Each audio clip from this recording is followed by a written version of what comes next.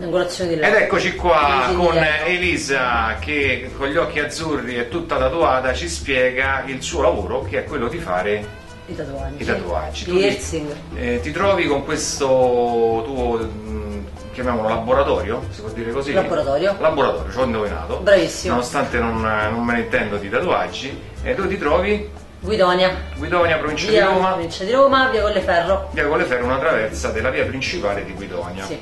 E mh, vabbè, raccontaci come mai questa passione per eh, i tatuaggi. 15 Quando hai cominciato? anni, 15 anni. artista. Due anni- due anni fa hai Due cominciato? anni fa, sì, due anni fa. 17. Ho capito, quindi l'artista c'è sei Artista facevo artistico, poi ho cominciato a lavorare in uno studio e poi è cominciata la passione. Quindi per saper fare i tatuaggi bisogna saper disegnare. Per forza. Per forza. Obbligatorio E proprio. poi imparare delle tecniche. Ecco qui abbiamo una cliente che non inquadriamo per il momento. No. Eh, è sudata. appiccicosa. quindi, quindi diciamo è difficile imparare a fare il tatuaggio. Ci vuole la bottega. Cioè, adesso molti ragazzi si mettono a fare i tatuaggi così, Sì, ma se non fai un po' di bottega, te ne vai in uno studio, stai lì in appoggio, è inutile. Ah, in- ah, cioè bottega diciamo Sì, sì. presso un altro Presso un altro artista, centro, un presso altro un altro artista, uno bravo, possibilmente bravo. e vedi come fa, ti Sì. spiega. E, Sì.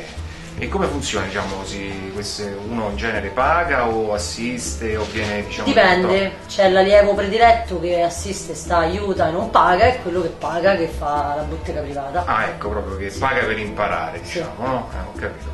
E mm, poi tu sperimenti anche sul tuo corpo, diciamo, li fai, te li fai da sola? No. Ah, te li fai fare, perché comunque Sì. diventa No, complicato. ti concentri a farlo e ti concentri a sopportare, non è che puoi fare tutte e due le Certo. cose. Ma ci sono anche dei tatuatori, diciamo, che se li fanno da soli, forse Sì. dei piccoli tatuaggi. No, no, anche grandi. Anche, Sì, ovviamente sì. non dietro la schiena, no? No, braccia, braccia, gambe. cosa. Dove arrivi? Eh, qua arrivi pure scomodo. Senti, io da persona qualunque dico, ma eh, sono un po' contrario a tatuarsi in maniera evidente e in maniera vasta. Contraria. Tu ovviamente sei contraria perché comunque è un'altra... Dipende, perché Mm. se tu ti fai un discorso artistico unico, particolare, tipo un quadro praticamente, Certo, tipo quello- una bella schiena, Certo, è allora sempre, sì, va ok. bene. Se invece tu ti fai Una moda, no? le pecette, Certo, è allora- normale che o ti fai, so, magari la fissa di farsi a ghepardo, a zebra, a gatto, è più una fissa quella di una persona, però a livello artistico non c'è niente.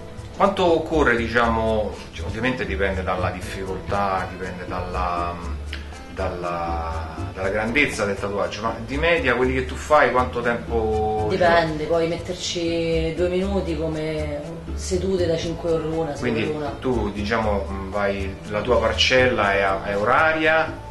Dipende o- da lavori, più è grande meno costa. Quindi diciamo c'è un preventivo prima del, del lavoro, poi viene accettato e viene eseguito. E poi più il lavoro mi piace meno lo pagano.